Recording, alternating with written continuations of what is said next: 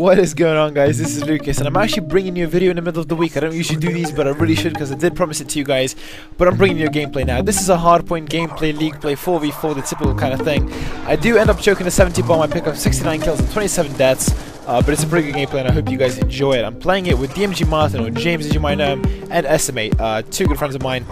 And well, this is a pretty good game, so I hope you enjoy it. This will be a competitive breakdown video, uh, because I wanted to do one, and because, well, this is a freaking awesome gameplay. So, without much further ado, I'm gonna jump into it. So, off the start, you will see me stunning um, over the pool side and over the shack side. This I do so that the people and the objective players inside of the hardpoint are protected from the people rushing them, and so I can get control of the shack side. This shack side, as you can see uh, right now, I'm picking up this guy, didn't get my shots on.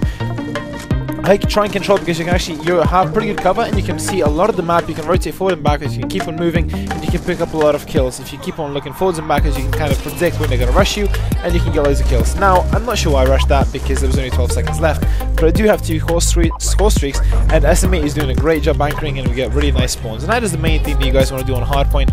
Uh, a few principal things. I'm, I'm, pretty sure you guys know these base hardpoint basics, but I'll go through them anyway.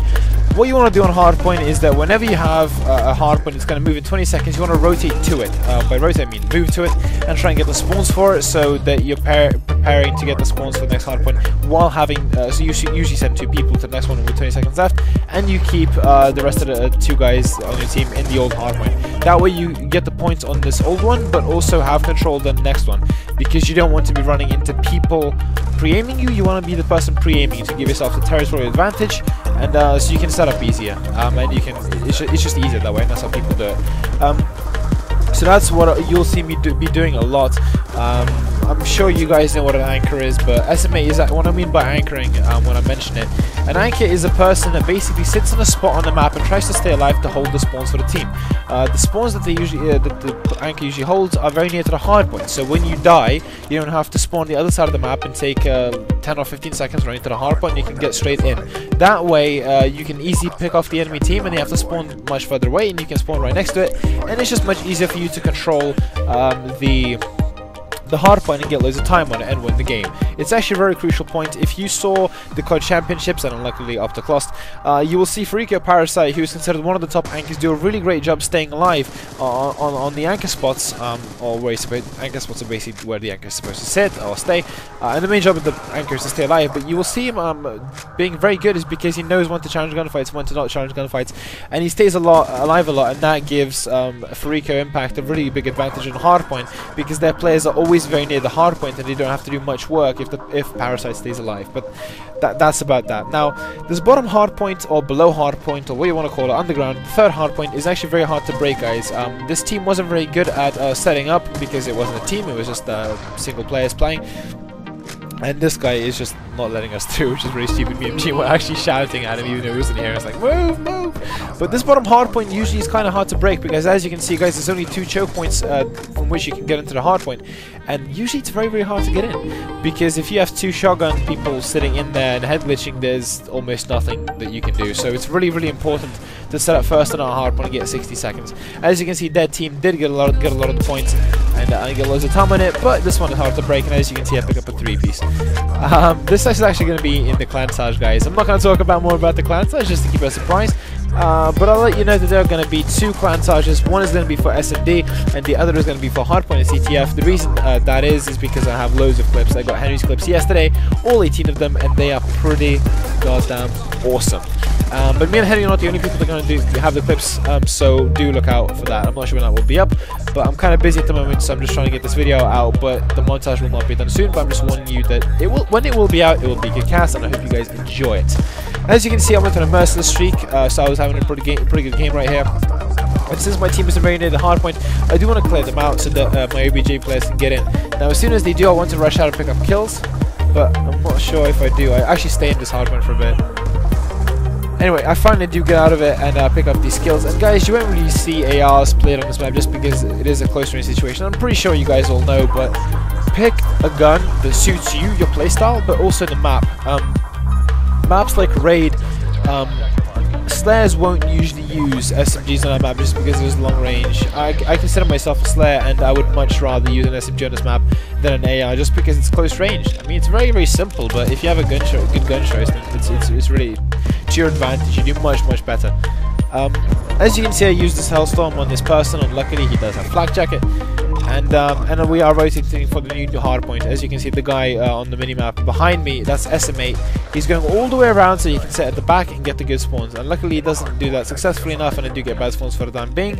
But we are ahead, and I think he's in the anchor spot right now. Now we have a really good setup. We have two people in a hardpoint, and I'm just rushing out of here because I am, you know, trying to. I'm kill whoring basically. I'm trying to pick up a lot of kills. Um, re really, I shouldn't have done that because I leave myself exposed. I'm way too open, and I'm not really helping the person inside a hardpoint too much. Yes, I mean I'm throwing myself out there and I'm kind of covering the front, but it's not very advantageous for my team. Ah, oh, a lot of speaking. So you'll see DMG Martin or James uh, control this uh, hardpoint pretty well right now. I don't really have to do anything. I'm just watching his um, left side of the map while uh, the rest of the teammates at the back are holding the spawns and watching the flanks. Um, and he's just picking up a lot of kills now with 18 seconds left. By the way, I missed that guy when I was playing. The guy just I just passed the guy, an enemy uh, going up the ladder. I want to rotate to his hard point. I do push through here because that's where I'm going to be coming from. This is the guy that was chasing me. I didn't really know that he was chasing me. I was kind of lucky that I turned around to get him. And this is a nice spot you will see in a second, guys. I pick up the skill and I sit behind this ladder. Now, people usually come in here, nade, as you can see, nade. They will jump in. They will never check this um, because they expect you to be lying down. I really shouldn't have moved out of this position. Uh, and I got picked off. And as you can see, three people are pushing the hard point. But if you sit there, you won't obviously be able to sit there for too long because people will catch on to what you're doing and you have to vary where you sit. Um, camp, um, maybe. Um, as you can see, that's where people expect you to be, but uh, where that guy was lying. But that spot is pretty good if you want to pick up a first few or two or three kills to get uh, control for your team. I'm trying to nade in because, as I said, guys, it's pretty hard to control, and this uh, hardpoint is being contested. I do take control of it, and our teammate comes from the back. Unluckily, he gets picked off, but I see that on the minimap that he was picked off, and I keep on challenging these guys from the ladder. The reason I do keep on getting these kills, guys, is because they know where they're going to come from, and that's just me knowing the spawns, and that's very, very useful. Um, a good player not, cannot just be, uh, you know, an amazing sled. You can't be an amazing sled in short without knowing the spawns, and, and you have to know the spawns. So as you can see, the timer is coming down, so I was trying to get into the kitchen hard point. Uh, our rotation was a bit slow, and I did get picked off by a shotgunner person. Um, what you really want to do against better teams, guys, is to go around. It sounds kind of silly, but if you go up the ladder, you don't really have you have your gun down. You can't pick up people, and uh, you'll just get killed off the uh, off the um, ladder when you're going up. Unlucky, I do get naded, uh, but we do get really good spawns here. And you'll see me in a second. This hardpoint is kind of strange as well. This map is just kind of full, uh, full of strange places because and now when you kind of have two sections of that building, which is the kitchen bit, uh, which you can head glitch, and the kind of like tables bit, um, and usually if you have the good teams and the team defending the hard point is in the in the kitchen and the people the, uh, the enemy team that are contesting in the room. So what you will see me usually I get a really bad spawn here by the way.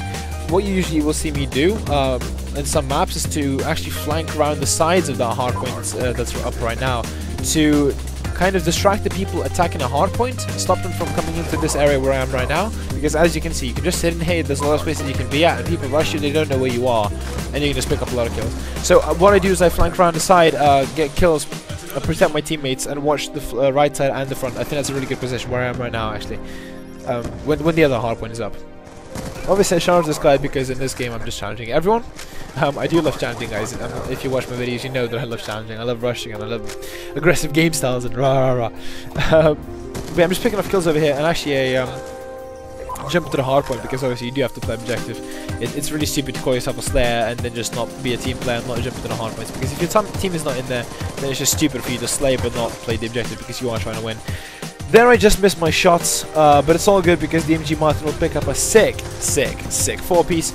Uh, and now we have control of the hardpoint. And now I see because my team where the enemy is going to be, and I do charge the person, but again I'm being overzealous, not pre-aiming, and I keep on being picked off here. Um, and you can tell a lot from where your players spawn to where the enemy team will spawn. Um, so yeah, that's another thing that I think you should pay attention to. I'm just trying to throw out tips, guys, that, that I'm kind of um, thinking about while I'm doing this commentary so that if you do guys don't know something uh, if you do uh, anyway I can just go over it and uh, maybe teach you guys something or if not if you guys know this stuff then you can just enjoy the gameplay and critique my critiquing of my gameplay if that makes any sense now, as you can see, it's literally impossible for the enemy team to win. Uh, we did go huge on the last few hardpoints, and currently I am aware that I'm close to 70 bomb, so I'm being really aggressive and trying to get those kills. I'm stunning him just to slow the enemy team down. As you can see, this guy is stunned, so he can't get me. So I pick off two kills here, I pick off another third one front door, and um, again, I'm rushing forward just to get another kill. I do get one more, but I get picked off by a shotgunner who actually kills me like three or four times in a row. Um, and I, after this Hellstorm, like I'm really short. I finished 69 27, I think I said that already, with 10 caps, 15 defense, I think. Um, and it's a pretty good game. Um, I hope you guys enjoy it. And um, I'm quite busy, but this game was. I wanted to just get this gameplay out there. Anyway, I do I do hope you enjoy. And um, on the screen, what you will see in a second, um, now probably, um, is